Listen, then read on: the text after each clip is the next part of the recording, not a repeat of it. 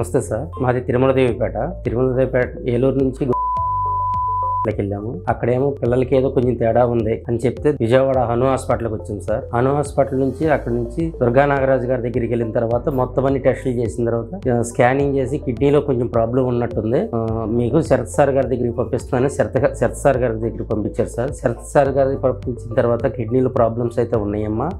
మీకు మెడిసిన్ వల్ల అయితే తగ్గిద్ది కంగారు పడవలసిన పని ఏమి లేదని చాలా శ్రద్ధగా చూసి మాకు నాలుగైదు సంవత్సరాలు వాడాలి. పిల్లోడికి పిల్లోడికి కాలు కొంచెం పక్కకి వేస్తానన్న దాంతో తీసుకొచ్చాం. తీసుకొచ్చిన తర్వాత ఆ మెడిసిన్ వాడిన వాడిన తర్వాత ఆ కాలు పక్కేయటం కానీ ఏమీ లేదు. అంతా బాగానే ఉన్నాడు. మెడిసిన్ అంతా బాగానే పడింది. బాగా చదువుతున్నాడు. కరోనా టైంలో కూడా సార్ గారు బాగా మమ్మల్ని ట్రీట్ చేశారు. శరత్ సార్ గారు. శరత్ సార్ గారు చూసిన తర్వాత ఆ తర్వాత మళ్ళీ మా పాప పుడితే మా పాపకు కూడా సేమ్ ప్రాబ్లం వచ్చింది. సేమ్ ప్రాబ్లం వచ్చిన తర్వాత పాపకి బాబుకి కూడా ఇద్దరిని కూడా చాలా బాగా చూశారు. ఆ ప్రాబ్లం ఇప్పుడు వరకు అయితే చాలా క్లియర్ అయిపోయింది. ఇప్పటికి మూడు సంవత్సరాలు బట్టి వాడుతున్నాం. ఇంకొక రెండు మూడు వేలు ఆడితే తగ్గిపోద్దామో శుభ్రంగానే ఉన్నారు. మీ పిల్లలు కిడ్నీ ప్రాబ్లం లేదు అనే కడకు చేసింది సార్. చాలా బాగా చేశారు. ఈ ప్రాబ్లం తెలుసుకోవడం గొప్ప. ఎందుకంటే ఈ ఈ ప్రాబ్లం తెలియక చాలా మంది కూడా ఇబ్బంది పడిపోతున్నారు. ఈ ప్రాబ్లం అనేది కూడా ఎలా ఎలా తెలుస్తుందో మాకే తెలియదు. అన్ని టెస్టులు చేపించిన తర్వాత ఇంత చిన్న ప్రాబ్లం ఉంది. ఈ ప్రాబ్లంకి సరిపడ ముందు వాడటం వల్ల నా పిల్లలు చాలా రికవర్ అయ్యారు. సార్ గారు దేవుళ్ళ చూశారు sir thank you Sharath sir గారు. Thank you Anu hospital.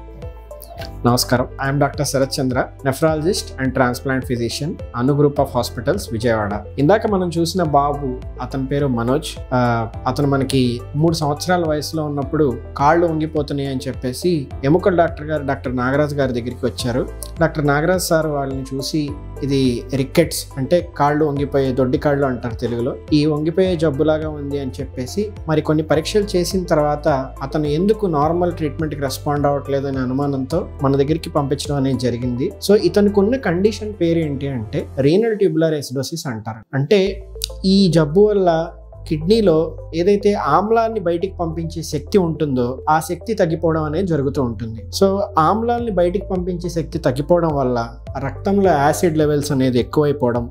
So ఈ ఎక్కువైన యాసిడ్ లెవెల్స్ అనేవి ఎముక మీద ప్రభావం చూపించి పిల్లల్లో ఎముకలు గట్టిపడకుండా ఉండడం అలాగే ఎముకలో ఉన్న కాల్షియం అంతా బయటకు వచ్చేయడం ఇలాంటివి జరగడం వల్ల ఎముకలు చిన్న వయసులోనే వంగిపోవడం పిల్లలు ఎదుగుదల ఆగిపోవడం ఆకలి తగ్గిపోవడం అనేవి జరుగుతూ ఉంటాయి. ఈ జబ్బు రావడం అనేది కొంచెం అరుదైన విషయం. కానీ ఇది గుర్తించడం అన్నిటికంటే కష్టం. ఎందుకంటే చాలామంది చాలా మంది ఇది నార్మల్ రికెట్స్ అను లేకపోతే విటమిన్ డి రెసిస్టెంట్ రికెట్స్ అని ఇలాంటి అనుకొని వాటికి విటమిన్ డి కాల్షియం ఇలాంటివన్నీ ఇచ్చేస్తూ ఉంటారు. కానీ ఎంత చేసినా సరే ఇవనేవి అలాంటి నార్మల్ ట్రీట్మెంట్స్ అనేవి రెస్పాండ్ అనేవి జరగవు. ఆ జరగకపోగా కాల్షియం లెవెల్స్ ఎక్కువైపోవడం వల్ల కొంతమందికి లోపల బీపీ పెరగడం హైపర్ కాల్సియమియా వల్ల బీపీ పెరగడం అలాగే ఇతరితర అనర్థమైన అన్ని కూడా సైడ్ ఎఫెక్ట్స్ అనేవి వస్తూ ఉంటాయి. వీటిని గుర్తించడం అనేది అత్యవసరం. సో ఈ గుర్తించడానికి ఈ జబ్బు కొంచెం అరుదైంది కాబట్టి కిడ్నీ ఉంది అని అనుమానించడం అనేది మొదటి ఇది. సో ఈ అనుమానించడానికి మనం ఎలా అనుమానిస్తాము అంటే చూడడానికి నార్మల్ రికెట్స్ లాగే ఉంటుంది. కానీ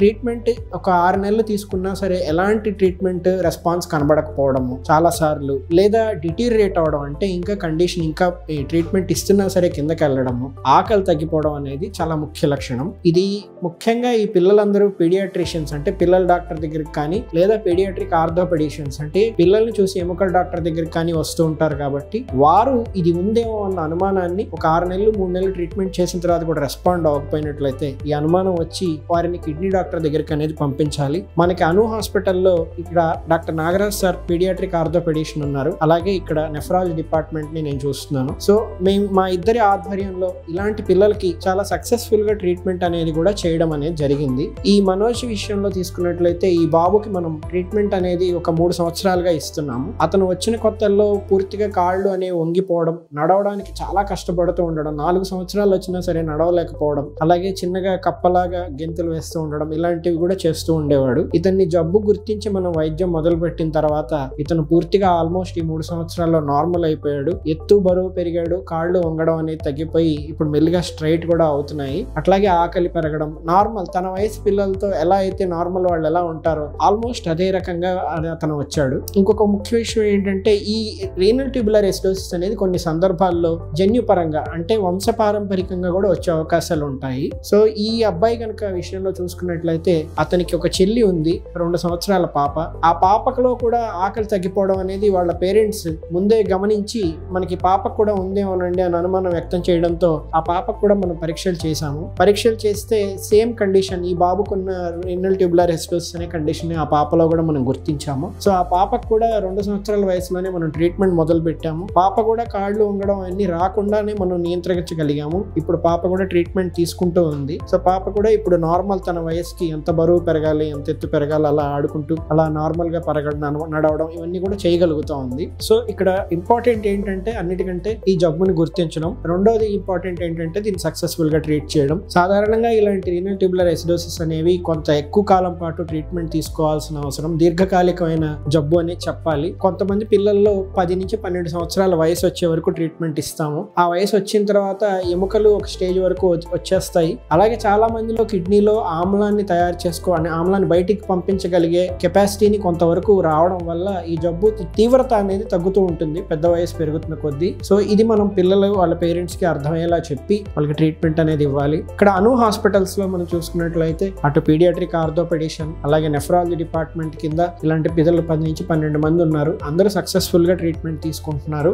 ఇలాంటివి గుర్తించడం కష్టం ట్రీట్ చేయడం కష్టం. ఆ పిల్లల్ని మనం కంటిన్యూస్గా మానిటర్ చేస్తూ వాళ్ళకి అర్థమయ్యేలా చేయడం కూడా కష్టం. కానీ ఇవన్నీ చేసే అవకాశం మా హాస్పిటల్లో ఉంది. సో ఈ ఇక్కడ చిన్న మెసేజ్ ఏంటంటే ఎవరైతే పిల్లల్ని రెగ్యులర్గా చూస్తూ ఉంటారో పీడియాట్రిషియన్స్ కానీ ఆర్థోపెడిషియన్స్ కానీ ఒకవేళ మీరు ఇస్తున్న ట్రీట్మెంట్ రికెట్స్కి పిల్లలు కనుక రెస్పాండ్ అవ్వట్లేదు అనుకుంటే ఇలాంటి అవకాశం రీనల్ టిబ్యులర్ ఎసిడోసిస్ లాంటి అవకాశం ఏమైనా ఉందా అన్న అనుమానం తెచ్చుకోవాలి. సో దాన్ని నెఫ్రాలజిస్ట్ అనే వాళ్ళకి రిఫర్ చేయడం అక్కడి నుంచి ఫర్దర్గా ట్రీట్మెంట్ అనేది చేసుకోవడం అనేది ఉత్తమం. ధన్యవాదాలు.